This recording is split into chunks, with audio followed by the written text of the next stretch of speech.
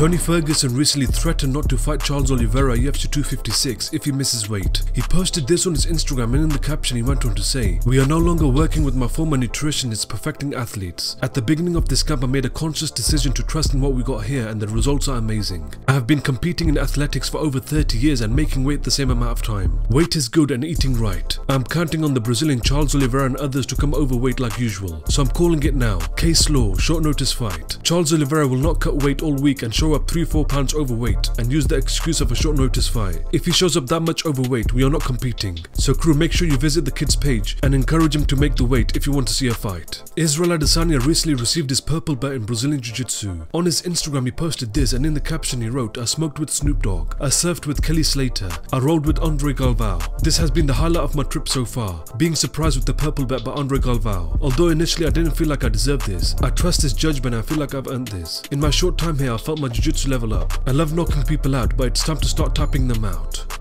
Henry Cejudo and Jake Paul have been going back and forth on Twitter. Henry Cejudo sent a tweet to Jake Paul saying, I have no idea this dirtbag at Jake Paul was a fanboy. Sign the contract and you might have your dream of meeting your idol Triple C. P.S. I'm sending you a digital autograph for you baby. Jake Paul responded back saying I'm a huge fan. You're the mini champ. But it seems like I'm your only fan because the purses I buy for my girlfriend are worth more than your fight purses. Where your pay-per-views at champ? Henry Cejudo responded back saying, oh your pay-per-views. Everyone ordered that fight for Tyson. Nobody even knew you were fighting Smokey Robinson on the undercard. By the way, looting purses from the mall doesn't count as buying.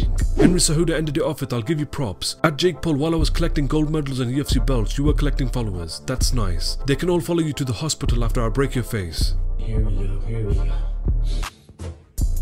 Right, this one goes out to all the outlaws still rocking that fraggers. You the man! there you get some sake. Look at the colour blade difference and. The outlet, that's fraggle I am. Woo! I'm walking on sunshine. Bro, I get the punches, man. Like, it's all good, but what are these scratches, man? It's crazy. I got slashed up. Like, he had a knife in his gloves. First time with my own filter. Feels great, man. Jeez, it's cool.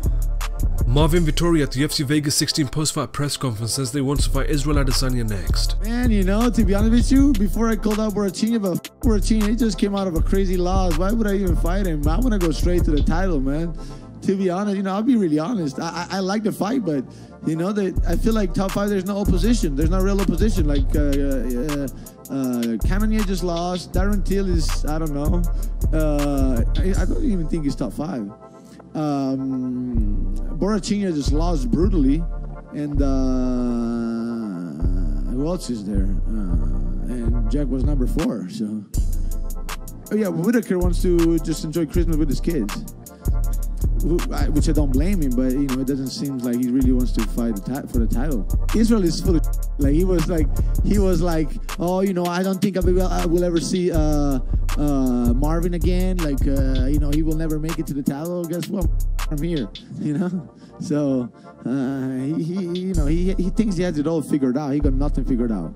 He's I, I, I know his true colors. I, I know his true colors. I met him a few times. I fought him. I know his true colors.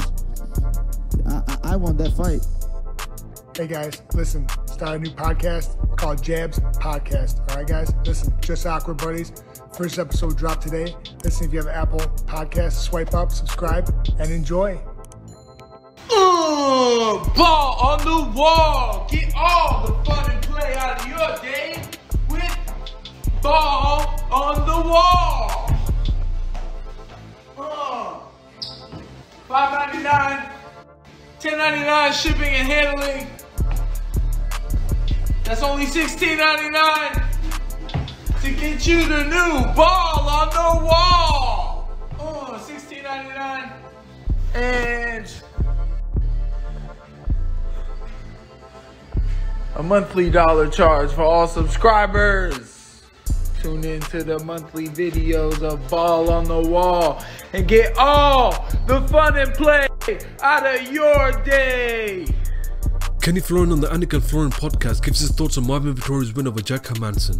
I mean, I, think that's a great way to put it. I, mean, to be able to take advantage of something like that in a main event spot uh, against a tough dude and Jack Hermansson, uh, I thought really positioned him extremely well. Um, I think I misunderstood, uh, you know, I really uh, misinterpreted uh, and kind of um, how he fights and what he's been doing lately. I, I think he's a guy that is getting better. Um, I, I, think he really performed extremely well. That left hand was firing all night. My yeah. goodness, just brutal shots. Uh, Hermansson is tough as hell. Um, but Vettori just looked on, man. I mean, there was nothing really where I thought he was going to be in trouble. He, he didn't get overly emotional. I thought he managed that well. I was a little concerned with his pacing in the first round. But man, the kind of shape that he has to be in to, oh, yeah. to keep that pace and, and eat those shots that he did against Hermansson as well, uh, I thought was just amazing. And uh, it was just a, an unbelievable performance from Vettori. And right. you could see both Jack Hermansson and Marvin uh, Vettori wanted to be there. Um, those guys uh, clearly wanted it. They were trying to take each other's heads off. We got uh, an absolute classic fight because of it. Um, but yeah, I, I, think you can see that. Vettori's not here to screw around. Uh, he means it. He's the real deal. Uh, you know, and he's not just a hammer. You know, and, and that's kind of the test I think you, you look for. Also, is that uh, it's fine. When, when you're the hammer you're, you're out there kicking ass it's easy. It's easy to be a fighter. But uh, when you look at someone and how they respond to adversity and what happens when they start to take shots um, i thought he proved uh, that he's here to stay and that uh, he's not going to go away easy. Muscle growth and improvement in terms of athletics happens during recuperation. We often underestimate the importance of a day off